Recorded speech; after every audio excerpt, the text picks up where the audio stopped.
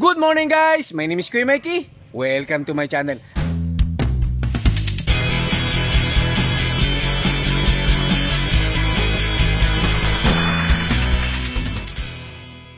Guys, meron nag-comment sa atin na napakagandang tanungan. Kasi isa rin siyang ano, bumili din siya ng fingerlings katulad sa atin. Nandito na yung ating bagong fingerlings. Meron na to guys. Ito itong maliit natin fish pan tsaka dito.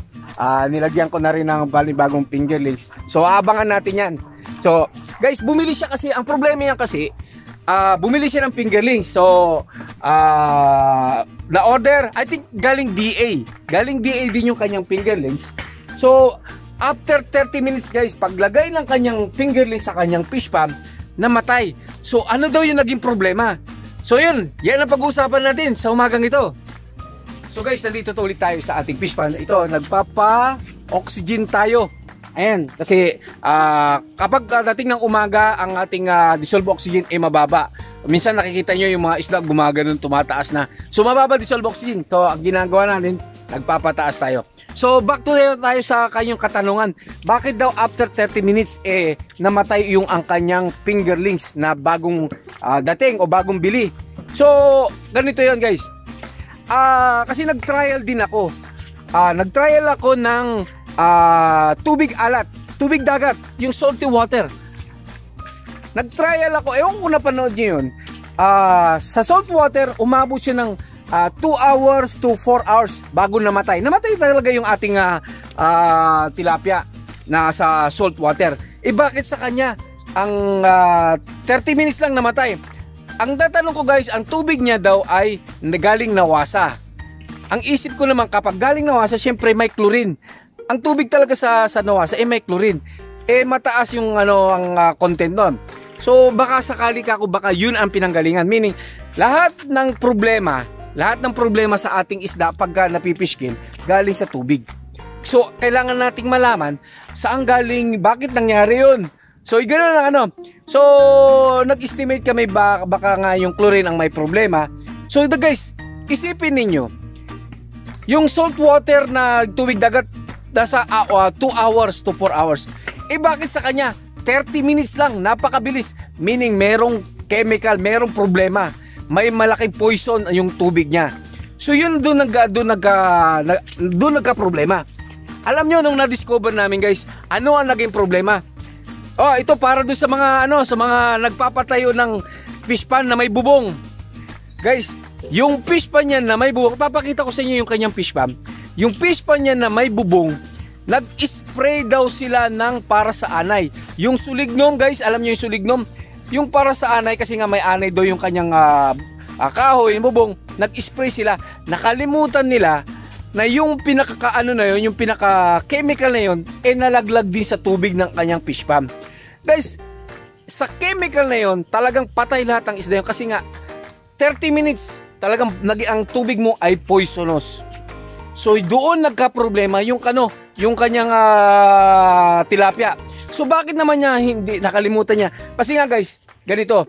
Uh, ang tubig kasi pag nawasa, 'di ba? Pag tubig natin pag nawasa, lalo na pag marami ka nang nailagay sa fish pond, kasi binibili talaga sa ano, binibili natin yung pinakatubig sa ano. Kaya nag uh, parang nanghinayang siguro na palitan yung kanyang tubig kasi nga eh sayang eh.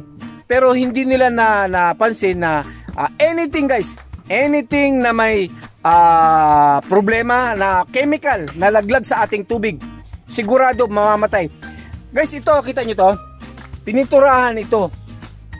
Pintura, nalapag nalaglag din yung pintura dito sa ating fish pond. Poisonous din yun. O, guys, ito pa. Lalo sa akin, open, ano? Sa open, open yung aking uh, fish pan, open yan. Ito, kapag nag-spray ka rin ng mangga, yung pinaka-chemical niyan, madadali din ang inyong pinaka-tilapia once na nag-spray ka at nalaglagan ng mga uh, chemical galing sa sprayer. May lang isa sa pinaka naging ano yan, naging poisonous.